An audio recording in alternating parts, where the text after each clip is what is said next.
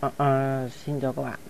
À, hôm nay mình tên là Thắng thì mình sẽ hướng dẫn cho các bạn cách um, mod CSS là là Counter Strike. Sao thì cái bước đầu tiên là mình sẽ hướng dẫn cho các bạn cách cài đặt một bộ tôn để cài đặt thì chúng ta cần phải có như sau. Thì đây phải có game CSS phiên bản thì 207 hoặc 210 mà mà các bạn nhớ là phải bạn là bạn digital zone thì mới được. Thì máy tính chúng ta cần phải cài cái net Microsoft Net Framework 2.0 à, trở lên thì mới được. Và cái à, Visual C cộng 205 và 208 thì các bạn tự Google mà kiếm thì ở đây thì cái à, mình sẽ hướng dẫn cho các bạn cái tải cái link game trước. Trong cái folder này nó có một cái à, file tên là ninh game thì các bạn à, thì copy phần 1 phần 2 copy vào xong rồi dán và trình duyệt thì nó nó sẽ có hai cái này. Thì các bạn tải hết tải hết hai cái phần này xuống. Thì chúng ta giải nén là mật khẩu thì nó sẽ là, mật khẩu sẽ là chia sẻ chia sẻ vn nha. Đây cái mật khẩu giải nén thì sau khi chúng ta tải về xong thì thì nó sẽ có hai phần như này.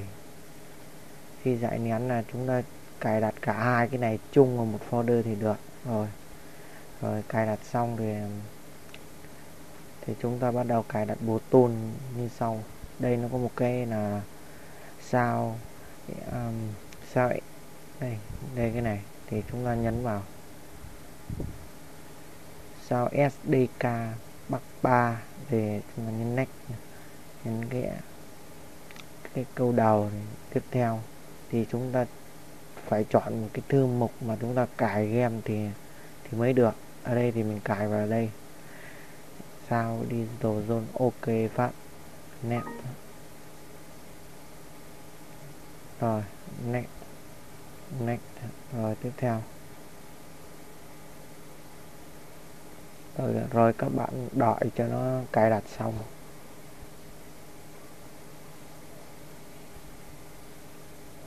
Thì cái game này thì à, cái link game mình được share bởi bạn uh, Stripe fan để bạn ấy đưa cho mình cái link. Thì mấy cái link khác trên Google thì nó đại hết rồi.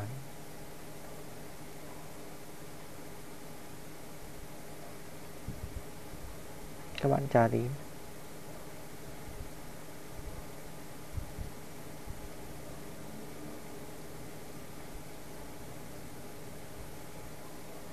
trong thời gian chờ đợi thì mình có cái video để cho các bạn xem để giải trí như này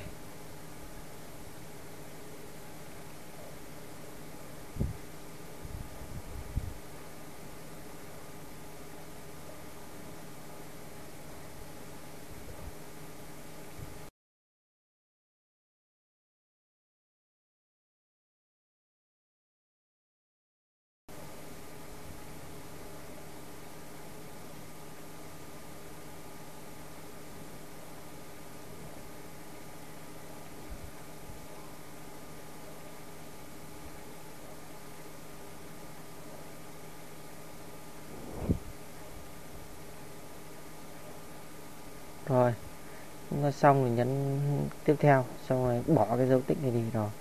Finish rồi. Được rồi thì chúng ta bắt đầu, chúng ta click vào cái này, xong rồi các bạn nhìn cái cái dưới này.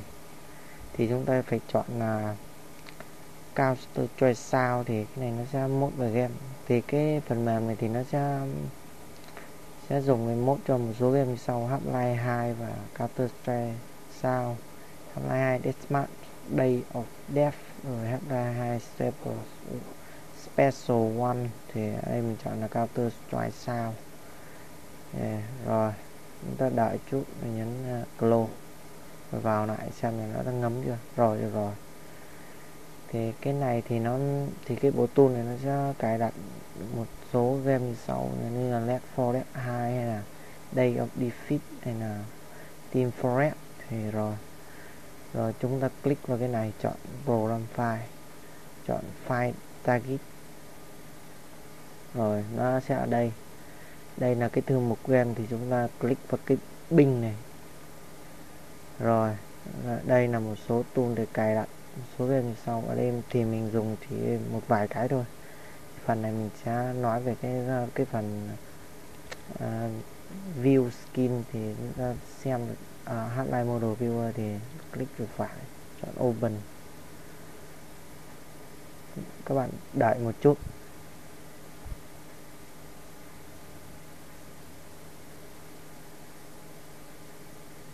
Nó hơi lâu. Rồi chúng ta file loạt web model. Rồi chúng chúng ta nhìn thấy một cái bảng này nó nhiều. Nó tìm cái folder nào mà nó ghi là bình rồi mình click vào. Sau đó chọn một cái file bất kỳ nó ghi là v gạch dưới cái gì đó. Ví dụ ở đây mình có v gạch dưới à, Eagle đi. Rồi. Bạn đợi tí để nó loạn xong. Rồi ở diện thì mình khoe luôn skin do mình làm thì à, đây nó, các bạn nhấn vào cái này. Cái này chỉ, sau nó chỉ là cái để à, để để mình thấy được cái súng của CSS thì nó gọi là model viewer của CSS nó tương đối khác là so với là CS 1.6 nó khác một chút nên loạn. Rồi chúng ta chọn cái gì khác cũng vào weapon gạch dưới ở đây mình chọn thêm một cây nữa là cây à, cây gì đó bất kỳ mà các bạn à, AK47 rồi. Đây. Rồi. Chúng ta có thể tìm thấy một số bạn. Rồi à, à, quên. Thì ở đây nó còn một cái à, tool nữa là cái cái VTF VTS e- editor là cái dùng để thấy được cái um, cái text của nó thì ở đây mình cài đặt luôn nhé rồi. Rồi finish rồi tắt đi. VTS là gì? VTS là để mình hỗ trợ text của skin CSS thì ở đây thì có là các bạn là tìm CS drive vào phần material. Xong rồi vào cái phần uh, model weapon v model rồi ở đây là toàn bộ text của nó. Các bạn thấy là như sau C4 chẳng hạn. Đây.